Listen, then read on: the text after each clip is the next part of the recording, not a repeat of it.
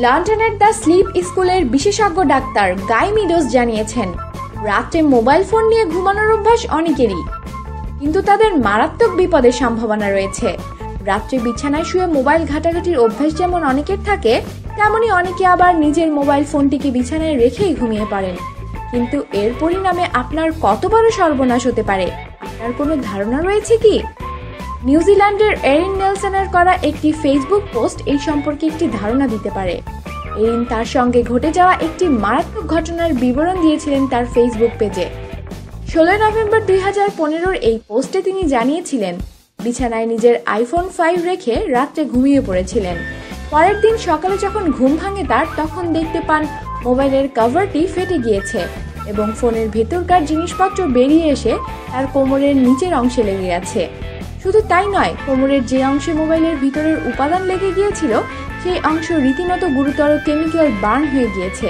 চামড়া লাল হয়ে গিয়ে রীতিমতো জ্বালা যন্ত্রণায় কষ্ট পেতে হয়েছে এরিনকে। এরিন দাবি করেছেন, তিনি তার আইফোনের জন্য যে কাভারটি কিনেছিলেন, অস্ট্রেলিয়ান ক্লোদিং স্টোর ফরএভার নিউয়ের দোকান থেকে, সেটির জন্য এই পরিণতি হয়েছে তার। তার অনুমান, বিশ ডলার দিয়ে যে মোবাইল কভারটি তিনি কেনেন, তাতে এমন কিছু রাসায়নিক দ্রব্য ছিল যার সংস্পর্শে মোবাইলটি আসার পরে কোনো বিষাক্ত বিক্রিয়া ঘটে যায়।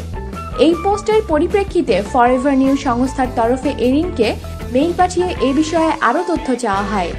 এর মধ্যে এমা হিউজেস ডজন নামের এক তরুণী ফেসবুকে পোস্ট করে জানান, তিনিও এরিনের মতো মোবাইল বিছানায় নিয়ে শুয়েছিলেন। পরের দিন সকালে আবিষ্কার করেন, তারও পায়ের একটি অংশ রাসায়নিক বিক্রিয়ায় পুড়ে গিয়েছে।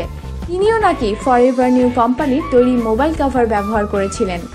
ফরএভার নিউ এর পরই তাদের তৈরি যাবতীয় মোবাইল কভার বাজার থেকে তুলে নেয়।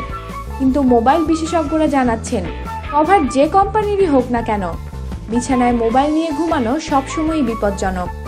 লন্ডনের দ্য স্লিপ স্কুলের বিশেষজ্ঞ ডাক্তার গাই মিডোস জানিয়েছেন, রাত্রিবেলা বিছানায় স্মার্টফোন নিয়ে শোয়ার অভ্যাস নিদ্রাহীনতার কারণ হিসেবে কাজ করে। এছাড়াও মোবাইল থেকে রাত্রে এমন কিছু গ্যাস নির্গত হয় যা স্বাস্থ্যের পক্ষেও মারাত্মক। রকমারি খবরের জন্য সাথেই থাকুন আর অবশ্যই সাবস্ক্রাইব করুন।